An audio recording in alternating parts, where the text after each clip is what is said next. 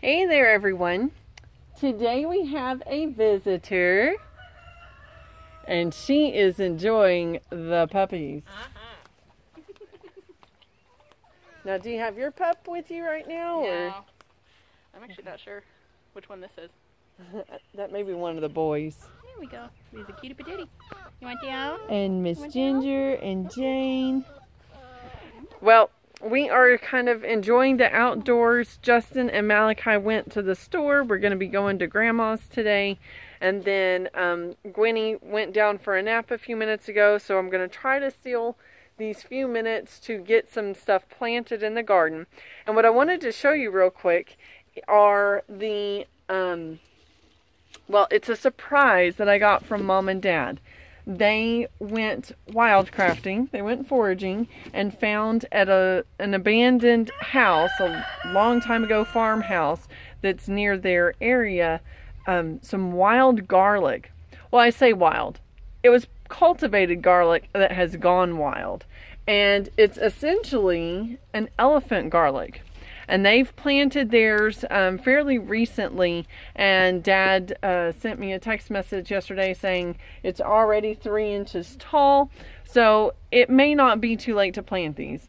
And either way, we're going to do the experiment and put them in the ground and see how they do. Um, if you noticed or remembered from our last video, we planted our garlic on um, St. Patty's Day. So now we're going to do the elephant truly heritage heirloom garlic um, on Easter weekend.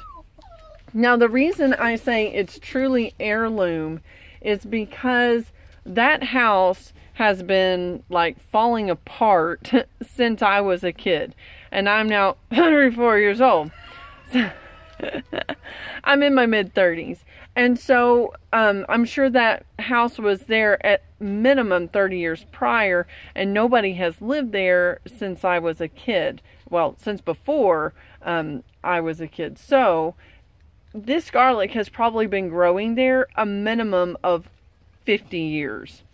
And anything that's that hardy that continually grows without any kind of maintenance or and care and just um, thrives on its own, that's some stuff I want in my garden. So we're going to plant these and um, I'm not going to have you sit there and have to watch that process. You can go to our other video of planting garlic if you want to see how we do that.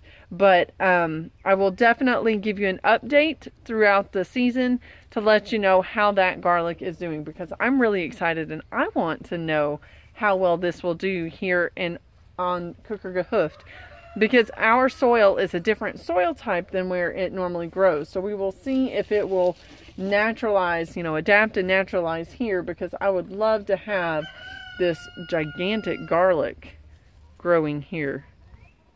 I mean, can't beat that. That's pretty awesome. All right, y'all have a blessed day and we will see you next time.